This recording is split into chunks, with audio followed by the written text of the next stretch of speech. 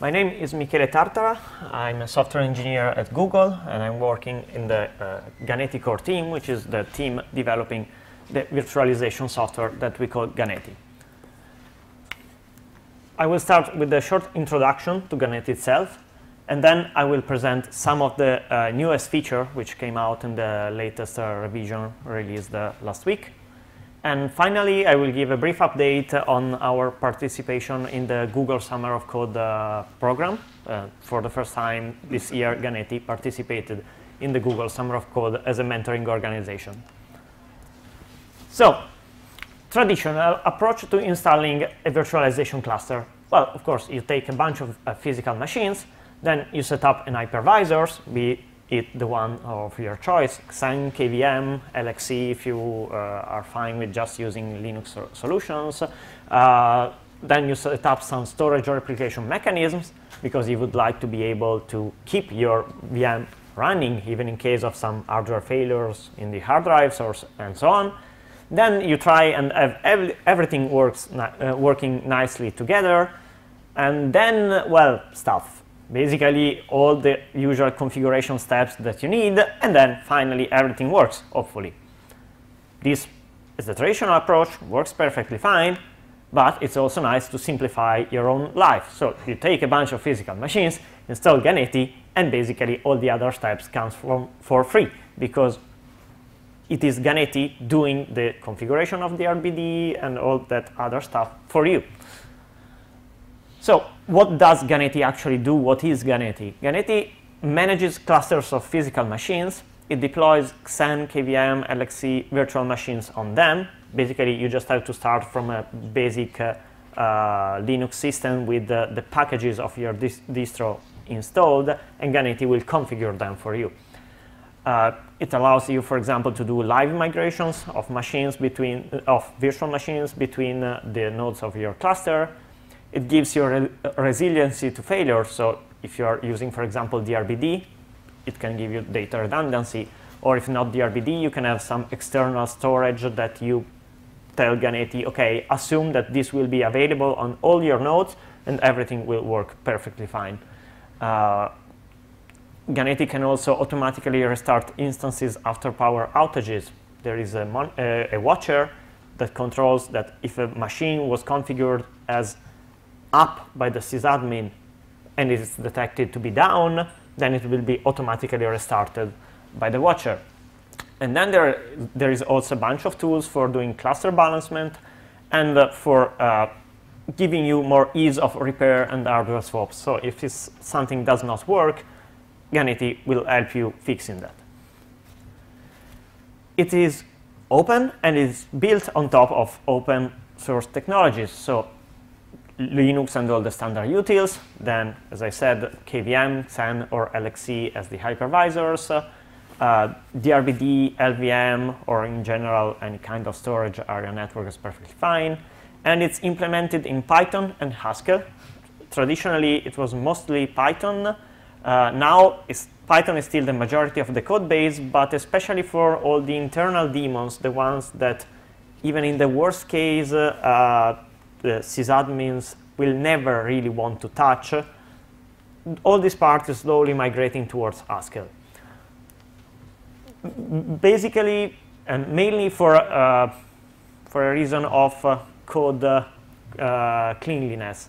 With Python, it's too easy to modify something, okay, seems to be working, then you have your software in production, and randomly runtime crash, which is terrible. And when you realize that most of those crashes, you can detect them at compile time, why not? So a bit of core concepts uh, that Ganeti is based upon.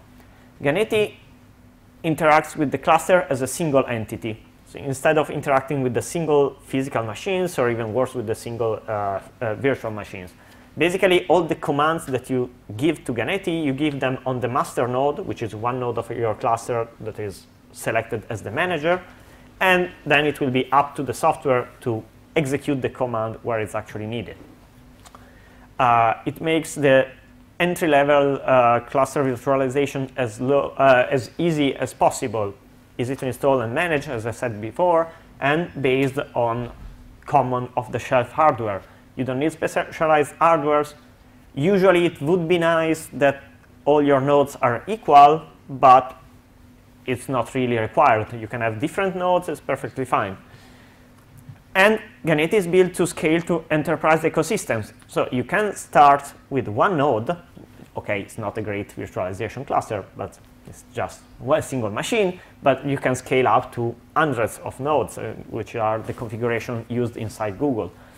And uh, uh, you can have more advanced features. Uh, and then another core concept for Ganeti is to be uh, an open source uh, citizen and be a good open source citizen. So all the design code discussions, it's all done on the public mailing list. You can follow completely the development from there. External contributions are more than welcome, and actually we have a bunch of them, especially from GRNet, which is our biggest external contributor, and we have some guys from GRNet here and they gave a talk yesterday about their Synefo system. And as I said, GRNet is one of the big Ganeti users, but in general, we try to have uh, an active mailing list where we, uh, the core team, reply to the external users. And also, it's nice to see that it's an active community because the users are replying to each other without even our intervention sometimes just to give you an idea, Ganeti is maybe not well known, but it's quite used and on quite big installations. So of course, Google is using Ganeti internally for all, if, uh, of, all of its uh, virtualization requirements. And when I say this, I mean the internal ones. There is no user-facing service based on Ganeti. So for example, Google Compute Engine is made on something else. uh, Ganeti is used for internal infrastructure. So for example, if, somebody needs a virtual server for some development or something, or a virtual workstation, this is all managed with Ganeti. Then we have GRNet, as I said, it's the Greek Research and Technology Network, which is running a, a really big, uh, multiple Ganeti clusters, actually. Then there is the Oregon State University Open Source Lab, which if you look at the name, it might seem like some obscure laboratory of a university until you find out they are hosting a lot of machines of the Apache Software Foundation, the Python Software Foundation, uh, a bunch of Debian machines, uh, and so on. I didn't know this myself the first time I read the name, so impressive. And then there is, for example, Skroutz, which is a, uh, a company making a price comparison engine in Greece, uh, and the Free Software Foundation France on their website uh, states that they are using Ganeti. So a bit of terminology that I will be using in this presentation. An instance, when I say instance, I mean a virtualization guest, a VM, no more than that. A node is a virtualization host, so the physical machine where you install something. We have the concept of node group, which is an homogeneous set of nodes. Usually when you uh, have a, a, an instance installed, and you have a primary and a secondary, which is ready to come back. These are inside the same node group. But the cluster can be composed of multiple node groups, which is a set of nodes, and it's all uh, managed as a collective by Ganeti itself. Every node, when it's used uh, as part of a Ganeti cluster, might have different roles. It might have different administrative roles, which is master, which is controlling the entire cluster, we can have master candidates, which are a small set of nodes that are ready to become the master if needed. So for example, if the master crashes or it has some problem, the administrator can go on the master candidates and say, fail over the master here. That node will become the new master with all full power, and this is possible because master will always send a co full copy of its configuration to the master candidates every time this is updated. But of course, not every node will be a master candidate, otherwise copying the configuration continuously everywhere would be terrible for scalability. But many nodes might be master capable. So they might be master, but currently they are not configured for that possibility. Then there is the regular nodes, which is all the other ones. And you can also have offline nodes, because of course, sometimes you have configured a node, but this went offline for any reason and you know this happened, you don't want the cluster every time to go and ping that node to find out information, so you just say, okay, this is offline, don't even consider it for now, but don't remove it from the configuration. Then, uh, regarding the, the, the, nodes that are actually able to host some VMs and are not just class, uh, the, the master node, for example, uh, they can be VM capable or non-VM capable, which means, for example, nodes containing only storage, but no actual hypervisors. So how can the user, the sysadmin, control Ganeti? Basically in a bunch of ways. Uh, the public interfaces are the command line interface, which is a bunch of commands named gnt-something. We have gnt cluster, gnt node, uh, gnt network, and so on, which is the usual way for this sysadmin to interact with Ganeti.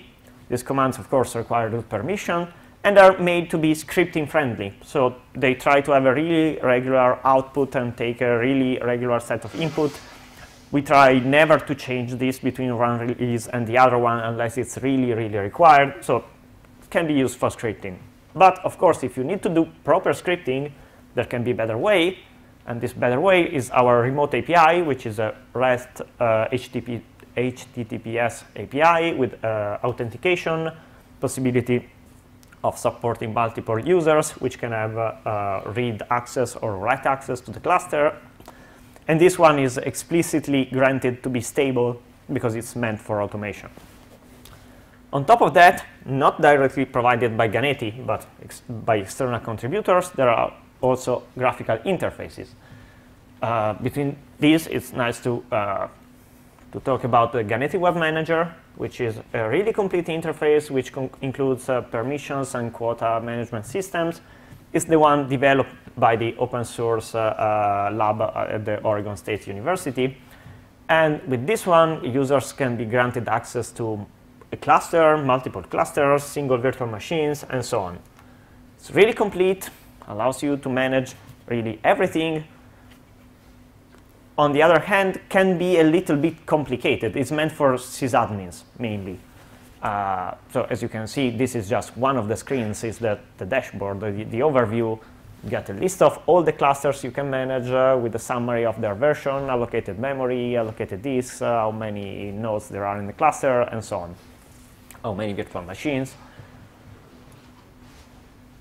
Another interface is the Synnefo interface, developed as part of, uh, of Synnefo, which is the software developed by GRNet, which is an entire cloud layer developed on top of Ganeti. Ganeti is only a virtualization cluster management. There are cloud services, like the one made by Synnefo, built on top of Ganeti. And as part of Synnefo, there is also a user interface, which is uh, mainly meant for end users because they are running a, a huge cluster for providing uh, computation services to uh, Greek universities. So they want to give uh, this university and the, the, the, users of the universities the possibility of starting their own virtual machines. So as you can see uh, uh, in this image, for example, the focus is on the single machine with a few data, only the important ones, So let's go a little bit more into the detail of Ganeti. This is an overview of the Ganeti infrastructure. As I said, you control Ganeti either through command line interface uh, tools or through the some client which communicate with the remote API. Remote API is a daemon, which is listening, listening for the commands. Then we have the master daemon, which runs only on the master node. And it's responsible for managing the configuration of the cluster, for managing the queue of all the jobs submitted by the system administrators, and for managing the locks, which control the proper ex execution of all these jobs. Then there is also confd, which is the configuration daemon, which basically is another daemon that gives access to the configuration, but it's meant to be read-only, and it's meant to be accessible even by other nodes of the cluster. confd is also meant to be robust because there is one confd running not only on the master node, but also on all the master candidates. It has its own protocol, which is based on UDP. Basically, when you want to know something about the configuration of the cluster, you can ask all the master candidates or a subset of them an information about the configuration of the cluster, and as long as at least one of the master candidates is still alive, you will get back this information. So it's something meant to be robust and be always available, even in the worst case of your cluster being seriously damaged. And then, of course, you have uh, the, node daemon, which is running on the node capable, uh, uh, on the VM capable nodes, which is the one receiving commands from masterd and actually executing them. So basically, it's the one calling kvm, xen, whatever to do the actual stuff. How can you install virtual machines in Ganeti? Basically, for every virtual machine, for every instance, how we call them, you need to have an operating system which is associated.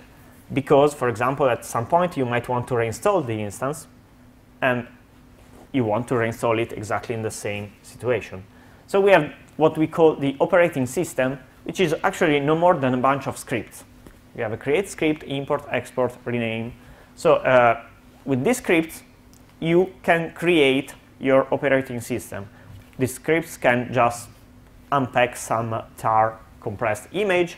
They might be running uh, uh, an entire uh, an external tool like debootstrap for downloading and creating your operating system, whatever. It's scripts with executed with root powers on the target node, and that's it.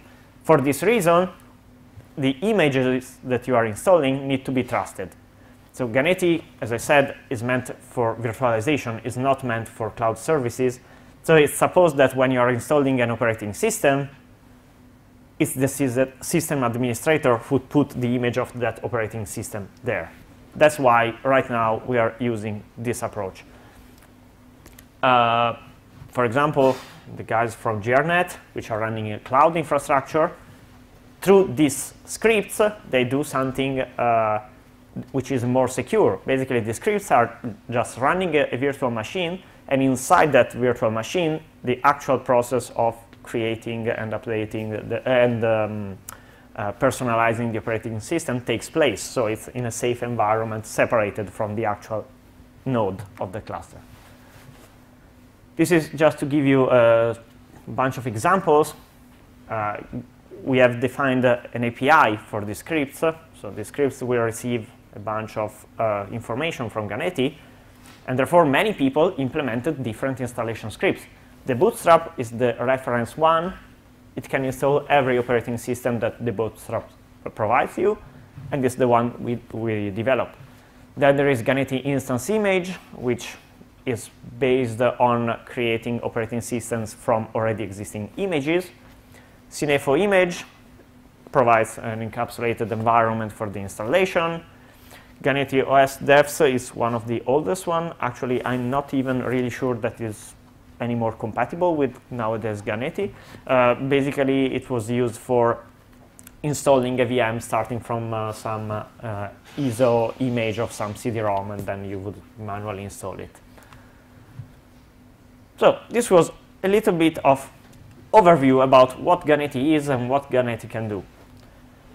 Ganeti is quite an old project. Sometimes we get asked, why did Google decide to develop Ganeti and not using OpenStack? Well, because when Google started developing Ganeti, OpenStack was still really, really far away in the future to come. So it was uh, not existing. But of course, the fact that it exists since a long time also means that we keep implementing uh, new features and now I'm going to present some of these new features released in Ganeti 2.8, which came out last week. One of these is the monitoring daemon. So the idea of the monitoring daemon is to provide information about the cluster state and uh, about the cluster health. So this information can be uh, computed automatically by the daemon itself, and it will be able, for example, to tell you whether some instance is running correctly, and it will export it in a easily uh, parsable format. Because the idea is to have this information live, read-only, but we don't want to write a general purpose monitoring system. We don't want to compete with Nagios or Pacemaker or what else, uh, whatever else. We just want to integrate with them. We want our daemon to provide these systems with easily parsable information, but this information will be about the internal part of Ganeti itself, so something that Nagios or Pacemaker wouldn't really be able to find out because it would need to make a lot of uh, uh, take a lot of information about the cluster and finding out what this information actually means. We provide this thing already. How is it implemented? Well, basically it's an HTTP daemon. it also has a REST-like uh, API. Actually, it's less than REST-like. It's meant just for uh, giving information, not for modifying the state of the cluster. So it's actually just GET requests. Provides replies in JSON format. Why JSON? Because it's easy. You can parse it with every language. And because it's already used inside the, the rest of Ganeti basically everywhere. So we didn't really want to add more libraries for parsing some sort of serialization language for, for no reason. Another potentially interesting thing is that it's optional. So if you want it, you have it. Otherwise, it's no additional uh, security risk exposed on the network. It's just don't even configure it and it will not run. Uh, it's also implemented in Haskell based on the Snap library if you are interested. And it's dependent on conf confd. confd is the configuration daemon which I described before in the overview of the system. And it's also not required. So if you want, you can just compile everything without confd, without the monitoring daemon, and the core of Ganeti will keep working. So where is the monitoring daemon inside a Ganeti itself? It's running on every node. Before I described the architecture, master daemon is running only on master, node daemon is running only on the VM capable. Why monitoring daemon is running everywhere? Because we wanted to provide information about all the cluster. Clearly, it will not provide the same information on all nodes. It will provide information about the daemons that are running there. It will provide, it will, for example, not provide information about the hypervisor. If it's a non-VM capable node, it will only provide information about the storage in that case, and so on. But we want it to be everywhere, and we want it to be as stable and as always running as possible so that you can actually use it to find out what is going wrong when your cluster is not behaving correctly. Oh, by the way, if you have questions at any time, you just ask. Feel free to stop me. So what information does the monitoring daemon provide? There is a bunch of information. Uh, currently, it's providing information about the status of, of, the instances, for now only for Xen instances, just because we didn't yet have time to implement the KVM version and the LXC one It's providing information about the status of the disks, specifically taken from the proc disk stat. It's providing information about the LVM logical volumes, which are used in the system. It's providing information about the status of the RBD, and it's providing information about the average load on, of the CPU uh, on the various nodes. Soon enough, we are planning to implement the instance status also for KVM. Uh, we want to provide information about all the daemons that are part of Ganeti itself and that are running on the nodes. We want to provide information about the resources that are available inside the hypervisor and the resources that, which are available on the physical node. So if you noticed in the previous slide, sometimes I was saying that some uh, data collector was providing status information. Sometimes I didn't say this. This is actually a really specific difference inside the monitoring daemon because we have two possible kinds of data collectors. One is the performance reporting data collectors, which means they only provide uh, data as is. They take the information somewhere, they provide it to you in a nicely formatted uh, format, and that's it. It's, there is no interpretation. But then we also have the status reporting data collectors, which are the ones where Ganeti is actually able to infer something from the data it has, and it will provide you this information in that specific uh, uh, information about whether Ganeti considers that node or that resource in general to be healthy, to be not really healthy, but Ganeti knows how it can fix it and so it's working on a fix. So just in case I'm fixing it, please don't touch it. I know it's wrong, don't do anything, I'm taking care of that. Unknown, of course, can happen that Ganeti is not able to say anything, so it's worse than being broken but out of fix and not as bad as being broken, which is the other possible, uh, possible uh, state. What is the format of the uh, replies provided by the monitoring agent. As I said, it's JSON. It's basically a list of all the uh, collectors that you ask the monitoring agent to, to run. And every collector then provides its own report. But we didn't want just to provide a bunch of JSON data. We also wanted this JSON data to make sense in a way and to be more, a bit more structured. So each of these reports actually has a common format which is well defined. So you, you know what to expect and you know what data you are receiving. Specifically, this is the format of the report. Contains, of course, the name of the collector itself, contains the version number of the collector, and the version of the format. We decided to have these two specific things because with the format version, you know if you need a new parser for the, for the same data, but maybe that the, the, format was maintained, but the collector was updated and now provides better information, more accurate. Then we have a timestamp, which as you can see is in nanoseconds, just because for some things you might really want to have the detail, but of course many collectors are not that precise, so they will just pad the, the number with zeros. Then you have a category. The category is really important, and I will explain more about that later, because it allows you to say what is the actual data of the collector. Oh, kind is just uh, status reporting or performance reporting, as I described before. Data is theoretically free format, every data collector is able to provide its own information in there. But even here, we didn't really want to give complete randomness. So we introduced the concept of category. Some uh, data collectors can belong to a category, and in that case, the category will say, OK, this collector will provide, at the very least, this set of information. So you know what fields you will find in here. Then the specific collector maybe will provide more information but the basic set is sure to be there.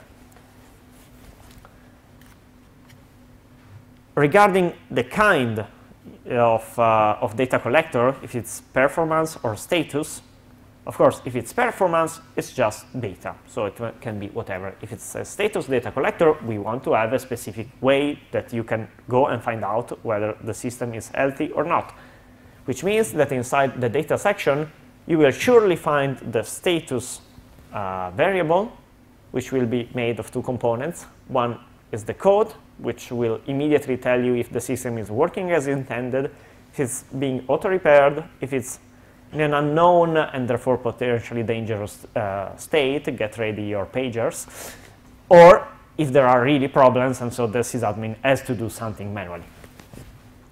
And then, of course, there is also a message where the data collector can provide a more specific uh, description. So, okay, if everything is working as intended, this message will be uh, optional. But if there is a problem, the data collector is supposed to write what the problem was. So you can see this as a summary of every other information in the data field. If you have a status data collector, just go and look at the status field. If everything is OK, ignore all the rest. You won't probably care. If there is a problem, well, the rest of the data will help you understand even more what the problem is, but you just need to read this one to know that, OK, it's a, a bad time, something wrong is going on. A bit more goodies. There is actually not only the monitoring daemon itself. There is also this tool, which we call Mon Collector, which is a command line tool, really simple, it contains the same collectors and provides the output in the same format, but instead of being listening on a network connection on HTTP, this one runs locally, provides output on the standard output. And uh, why? Basically, this is either for quick checks done by the system administrators, or it's for some local scripting, if you really want to script uh, this information without passing through an HTTP interface, and especially for another reason, because it shares exactly the same code, so it provides the same data in the same format, but it's a physically different executable. So if something is, again, really wrong with your cluster, we want to give you another way to find out what's happening. This is a self-contained executable with all the things that are needed to run immediately the collectors. So even if the daemon is not running because it failed or is not accessible over the network or whatever, you always have another way to try and find out something about your system. By the way, how many of you did know something uh, about Ganeti uh, before? Okay, how many have actually tried it? Okay, at least somebody, which is not bad. Uh, yes, there was a question. Quick question about this. Is this only for stuff that's in context on the node that you run it on, or is it see the whole cluster? No. Um, so something that I did not specify before. Uh, the monitoring daemon only provides information related to the node it's running on. So if you want to have information about all the cluster, currently you have to query all the nodes. And it's meant this way. Theoretically, we might want someday to implement some master monitoring daemon, but it's not there. Right now it's one class, uh, one node, one daemon, and mon collector is the same. It runs only locally. It might happen, though, that MonCollector to provide uh, more complete information, we'll have to call uh, confd to ask some information about the cluster configuration. And of course, if the cluster is badly damaged, that won't work. But in general, all the implementation is made in such a way that if some information that should come the, uh, from the net or from, or from running some local command is not available, it will still leave that field empty, but try to output as much as possible. Let's say it's made in such a way that it tries actively hard not to crash. It will provide some information. Maybe it's not so complete as you would like, but whatever. it means that your cluster needs some love the, at the time. So what is where exactly? The Ganeti development, especially since uh, October, Nove October, November last year, Uh, is, has been switching to a, a, quarterly release schedule. So of course, the impl implementation of all of this is happening over a bunch of releases. Specifically, Mon Collector and the DRBD data collector, which was the first one to be written, were released in Ganeti 2.7. The monitoring daemon itself is in Ganeti 2.8, which came out last week. 2.9, which is currently in RC, if I recall correctly, is going to provide more data collectors, so specifically the one for logical volumes, the one, the instance status collector for Xen, and the one for uh, information from proc disk stats. And uh, uh, the CPU load col connect, uh, collector will be in Ganeti 210.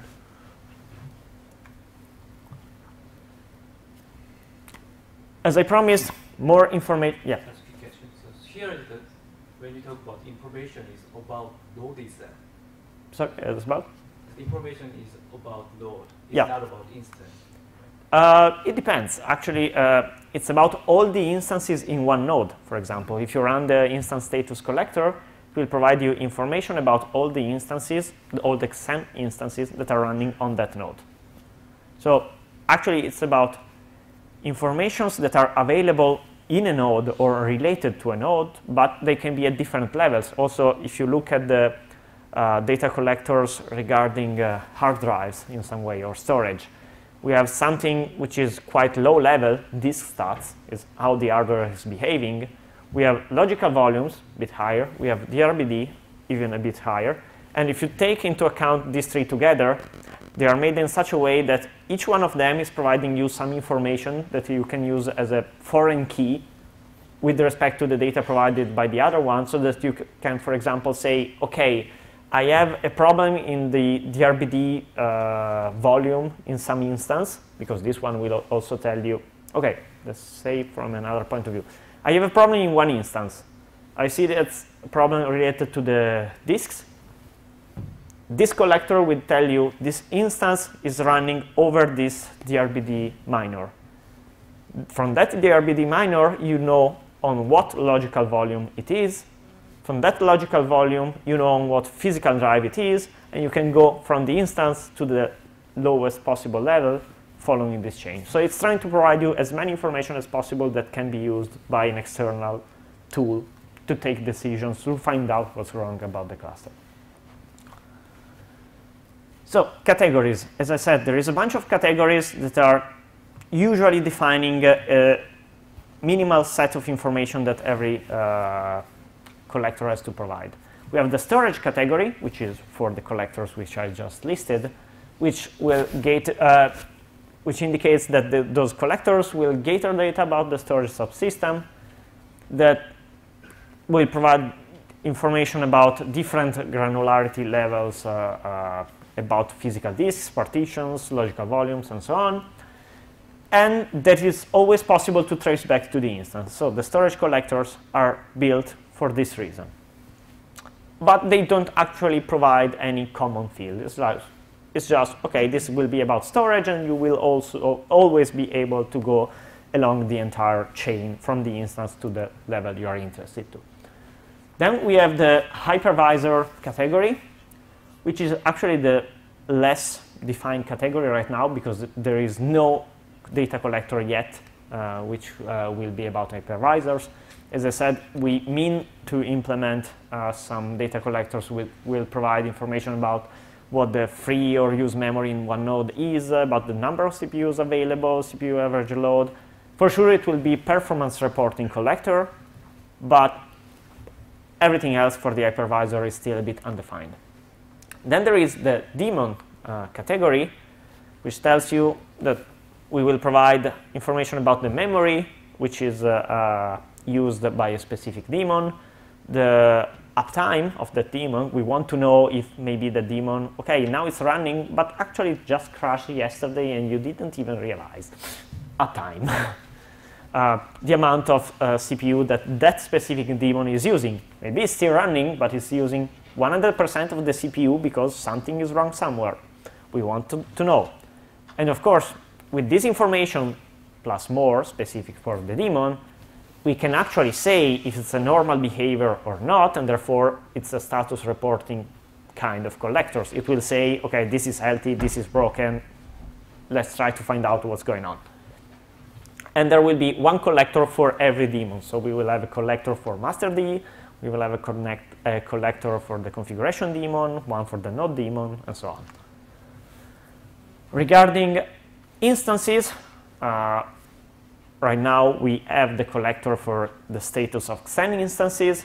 As the name says, it will be a status reporting collector. And both this one and the one for uh, KVM will provide, at the very least, name, uh, unique identifier for the instance, uh, which is the one used internally by Ganeti for tracking all these instances. Admin state, which is what the admin want the instance to be, up or, or down. Actual state, what the instance is doing. Uptime, uh, timestamp of the latest modification to the configuration related to the, that instance. And also state reason, which is something quite interesting. Basically, this is a, a chain um, containing information of all the parts of the system that have been crossed by the last command that changed the state of the instance. So, for example, it will tell you at that given timestamp, a user used this command line tool to perform a change on the instance. That command line tool activated this internal, uh, created this job, which activated this opcode, which made your modification. So it's trying to track what's going on inside Ganeti and potentially also outside, because you can specify the, the first level of this chain and it will be recorded. So through this, you will always be able to find out what changed the instance last. Something more, something that was introduced only, uh, that actually will be introduced in Ganeti 2.10. It's already implemented, but it's still not out there. It's only in our repo in Git repositories. The difference between stateful data collectors and stateless data collector. Most of what I described to you up to now were stateless data collectors. It means you run the collector, it goes, fetches the data, prepares the output, gives you the output. But some collectors, as the one for the average load of the CPUs, doesn't really want to do that. As the name says, it's an average. It want to know, wants to know what's happening over time. So this kind of collectors is run not at the request of the user, It's run automatically in a timed way by the daemon itself, collects data, and when the user is calling the collector, it's just acti activating a reporting function, which will just go and uh, assemble the data in some way and print a nicely done report. For now, the one about the average load is the only one existing, but of course in the future we will have many of them. And the current implementation supports a single um, single timer event at each, let's say, clock cycle of this timer. All the, all the uh, collection function will be run, but of course, we want to be able to specify a different collection type for every specific data collector in, in the future. So this was the description about the monitoring agent. Some question about that? Okay, can go on. Another interesting tool which was introduced in Ganeti 2.8 as well is the HAREP, which is our auto repair tool. Basically, before Ganeti 2.8, there was no self-repair. The only thing who could happen was uh, uh, starting, uh, restarting automatically a crashed instance through the watcher, but the a self-repair of the instances wasn't really possible. Whereas, for example, if a, a DRBD of an instance is broken, well, you would have manually to fail it over, then trigger a disk replacement and then everything would be fine again. Or if a plain instance is broken, okay, the disk is gone. The only thing you, you can do is to recreate it and reinstall, but still would be completely manual. Sometimes you want this to be automated, especially when you have many, many instances. It can be useful. Therefore, we introduce HAREP, which allows you to uh, auto-repair your cluster. Basically, what it does, or well, it's meant to be run by cron automatically every now and then, and uh, uh, the admin, of course, can allow or disallow specific repairs because, as you can imagine, some of the repair operations might also be a bit dangerous, so you don't always want them to happen. So, first of all, if you have no idea what HAREP is and you just try to execute it just in case, well, it's not a good idea if you are a sysadmin to do something like that. But HAREP is going to prevent you to do anything bad. It will just start, have a look at the system, note what is wrong, and that's it. It will print an output saying, okay, this instance is a problem, but it will do absolutely nothing. Because HAREP will only act on instances where the sysadmin has manually, add, or through some tool, added a tag authorizing the auto repair operation. A tag that will have this shape and the type. The type specifically will say what kind of auto repair operation is allowed, and this auto repair operation can be of diff uh, different and increasing levels of importance and of danger. So you can just say fix storage, which means replace disks or fix the backend without affecting the instance itself. Basically, this is possible only for DRBD instances or with instances who have some kind of replication mechanism. If the secondary is broken, okay, whatever, shut down the secondary, reclone the data, recreate the secondary, everything is fine, the instance is still running, nobody notices anything. Migration, well, sometimes you know that the node is not in a good state, but the instance is still running, you decide to move it uh, away to its secondary. But of course, migration can always go wrong for some bad reasons, so you want to be able to decide that you want to do it. Failover, even worse. Live migration is not possible. Should I try shutting it down and starting it again somewhere else? If the tag is allowing me, why not? Worst case, reinstall. Everything is destroyed. The only thing we can do is recreate the instance from scratch. So, okay, the service will be there, but all the status of the instance will be completely lost, both the running state and the, the actual drives is something you might want to be automated, but of course, you need to, to approve it. So these tags can be added to the single instance, they can be added to the node group, and the, or they can be added to the entire cluster, because sometimes you don't want to add them manually to every single instance. But what happens if there is some authorization conflicts between all these tags? Basically, the, the conflicts are resolved through these really simple rules. If there are two tags in the same object, they, uh, the least destructive will take precedence. And if there are two tags across different objects, the nearest one will win. So in a really simple example, if you have a cluster with two instances, I1 and I2, and I1 has failover, whereas the cluster has fixed storage and reinstall, what happens is that I1 will take failover because it's the closest one, whereas uh, fixed storage uh, will be for instance 2, coming from cluster and taking the lowest level between fixed storage and reinstall you can also prevent auto repair. Sometimes you have configured all your wonderful auto repair on all your cluster, and then there is something you really want to do manual to one instance, and you know that auto repair will interfere with what you are doing. You don't want to remove all the configuration, so you just say suspend the repair for this instance, this node group, or the entire cluster for a while. You can also specify a, an automatic expiration timestamp, so it's really convenient from that point of view the operation will go on, and at the end, it will leave you a tag describing what was done, when, in what way, and if it was successful, a failure, or if it could have been theoretically successful, but the policies actually blocked HAREP itself. To conclude my presentation, I will also give you a small outlook of what happened during the Google Summer of Code for Ganeti as a mentoring organization for the first time.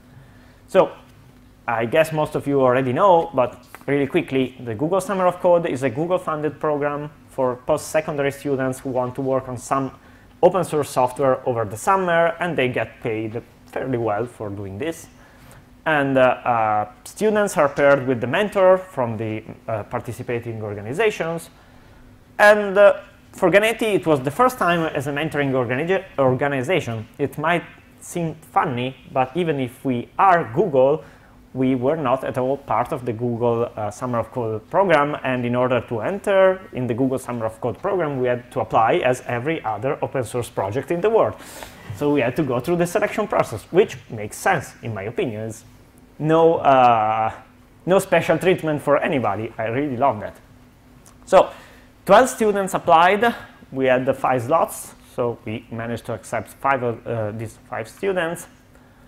And uh, your mileage may vary, actually. It's really the case.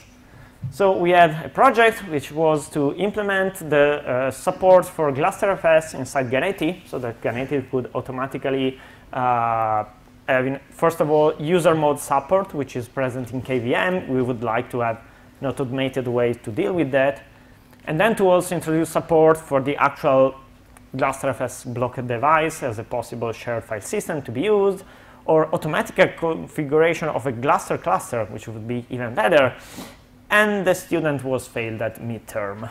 It didn't even manage to get to the end of the project because in the specific case of the student, I'm not going to say any name, but everybody on the on the Ganeti mailing list will remember the student. He well, was not really independent. Let's say that at the hottest part of, the, of his participation in the project, he managed to send me, I was his mentor, in 24 hours, 26 emails, plus I, public IRC, plus private IRC. Basically, his approach was, I have a problem, I go and look at the code, no, I send an email. so, not so nice. So unfortunately, didn't work out. But now we have somebody who is working internally. We have an intern uh, who's working internally on this project. Then we have the exactly opposite. We have another project which was to uh, modify our tools for allocating or rebalancing the cluster, uh, which currently are based only, were based only on uh, uh, configuration information, so the number of CPUs that your cluster have we wanted to have the possibility to use CPU load aver average for deciding where to move instances. And this project was successfully complete, completed. It will appear in in Ganeti to 10, and actually the author is Spiros, who's here in the room. so if you want an applause for Spiros. then we had another problem with uh, another project which was implementing Open with Open vSwitch support in Ganeti for having virtual uh, networks. Was not bad. It was uh, supposed to implement uh, the management of these switches on the cluster and the creation, setting up, uh, and connection uh, of instances to VLANs. There is a basic support which is working now. Uh, you can set up the, the switches, uh, you can connect instances to the switch. So basic support working, successful project overall. Then we had support for the huge pages as implemented by KVM. The student just disappeared. Who knows? I've, has anybody seen our students? We didn't. and finally, there was another uh, project for improving the already existing Rados Ceph uh, supporting Ganeti. Basically, we wanted to add the KVM user space support also in this case. So basically, it was a, a twin project with the Gluster one. And also, this student was failed at midterm because it wasn't really able to contribute any code by that time, and the rules of the Google Summer of Code say by midterm there should be some actual visible contribution. So, what are our lessons learned from the Google Summer of Code? Which is a great opportunity, but it can also be a great resource hog. So basically, what we think to do if we go on with the project next year is to be stricter in the selection process the students usually in the Google Summer of Code are selected on the base of a project they present. They say, I want to do this, this is my time scale which I'm envisioning, and you have to decide. Unfortunately, this, this didn't really work. So all the students pre presented projects, they were pretty good ones, but then given how we work, we always ask for a design document before implementing the actual feature. And just uh, writing the design documents took the students, most of them, uh, the failing ones, basically one month, two months of the three and something that were part of the Google Summer of Code. So it didn't really work.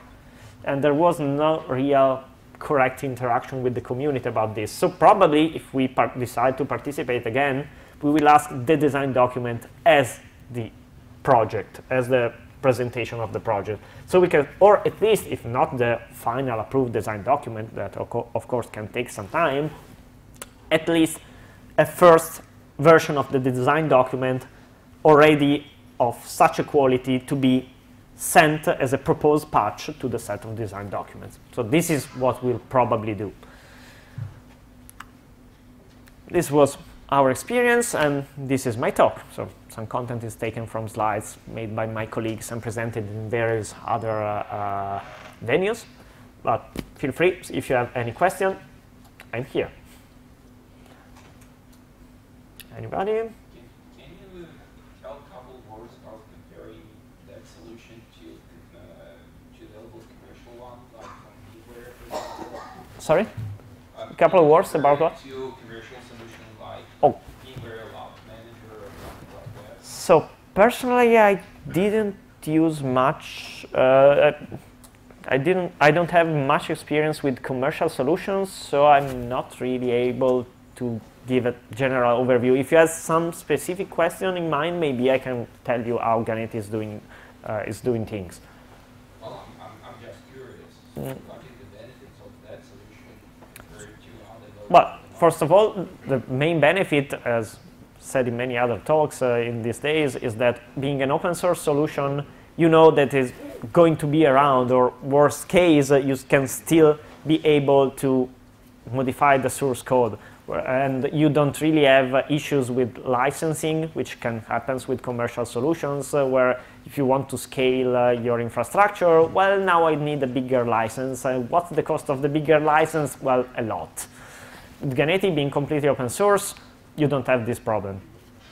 A com a com open source like over or uh, uh, as you mentioned for uh, like OpenStack or something. So from what I know uh, about OpenStack, for example, uh, my idea is that OpenStack can be more flexible. It has lots of components, And this can be really good, but it can also be bad from the point of view of the initial setup, probably. Because when you have so many components, yes, you can substitute, sorry, you can substitute any of them, but you still need to set up all of them. Ganeti is, it has various daemons, but it's a single package, it's a single software. So it's easier to set up, uh, at least initially, in my opinion, and it's already able to scale a lot. So if you want to start from a brand new system, implementing something from scratch, I think Ganeti might be an easier solution. Whereas if you if you want to integrate with something uh, that is already existing, or you have some specific needs for some component which you cannot really change, maybe OpenStack can be better before because it's a stack, whereas Ganeti is a single product. This is my, my impression, my opinion at least. Uh, what's the state of LXC support? So that's the uh, weak point. Uh, we have the support, but it's not actively uh, being worked on. So, and actually, I don't even know of anybody actively running LXC. So, what is there probably still working but it's not actively supported. Uh, whereas uh, Google internally runs Xen, so of course we have complete support for Xen, and basically everybody that I know in the, in the list uh, of other projects uh, using Ganeti are running KVM. So both Xen and KVM are perfectly tested and uh, known to work really well. There was some, okay. Are you adding any uh, additional layer to do the same uh, task redundant? What I was seeing out there was like a live migration, Mhm. and uh, KVM and Xen has their own mechanism for that. Yes. Do you do something like you, you use their? No, solution? actually, what Ganeti does is using their mechanisms, but the difficult part there is to ensure that you have the data also on the node where you are migrating. So Ganeti is helping you by automatically managing all the data replication either over the RBD or over some other shared uh, file system, uh, depending on what you want. We have support for many of them. And that's the thing that Ganeti is actually doing, is making your life easier in general. It's not really adding new features. You might do the same thing manually, but it takes a lot of time to set up, to maintain them, and so on. Whereas with Ganeti, it's just, okay, I want to do a migration. Uh, GNT instance uh, migrate uh, name of the instance. You don't even need to say where because you already Ganeti already knows what the secondary is, so it will just migrate on the other node.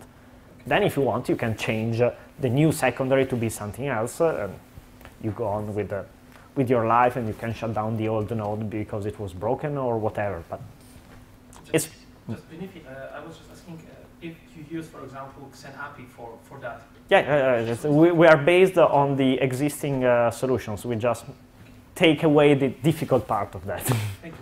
You're welcome. And there was another question back there, I think. Well, actually, you Okay. Perfect. If you want to take extra